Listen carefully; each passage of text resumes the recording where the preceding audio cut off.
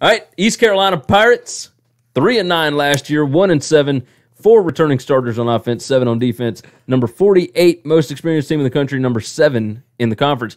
New head coach Mike Houston. He was eighty and twenty-five at James Madison. That's not too shabby. Uh, but this is going to be a years-long rebuild. I'm right. fairly certain. Look, the guy, the guy can coach, but he's got a lot of work to do here. Uh, quarterback Holton Ellers, Ahlers, uh, he provided a spark for the offense last year, but uh, Houston does not want him to run as much as he did. I mean, the kid got hurt last year because of the running. Uh, new defense coordinator Bob Trott is implementing a four-two-five set. Uh, hopefully, that will improve their number 101 total defense from last year.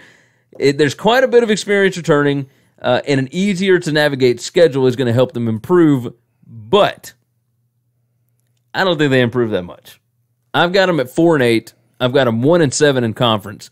Uh, they set it up fairly well, right? You know, they've got Gardner Webb, William and Mary at Old Dominion, um, at UConn.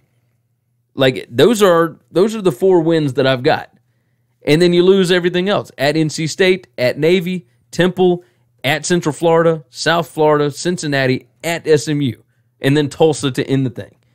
I think four and eight would be pretty good for It's this. just it's such a weird thing to think. I got the same thing at four and eight, but it's so weird to see a team that we think can start off four and zero, and then just we just don't see another win on the on the books. well, I mean, uh, for them, like they start at NC State, so I mean they'll start with a loss. We okay. I, I kind but I, I but they they could open up three and two, and then you got one win the rest of the way. Yeah. it's like, man, at three and two, you're thinking, all right, bowl game. Like if we can just win three more, we can get to a bowl. and you're just And I just get there. I don't see it. You're not gonna.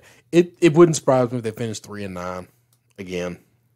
Yeah, I mean, that just wouldn't shock me. It wouldn't shock me either. I think they can get that extra win, but I don't. I think Mike Houston is a good enough coach. They could find a way to five and seven. I think they Mm. I don't they could find a don't- win in there because they their offense last need- year was not see the them problem. improve.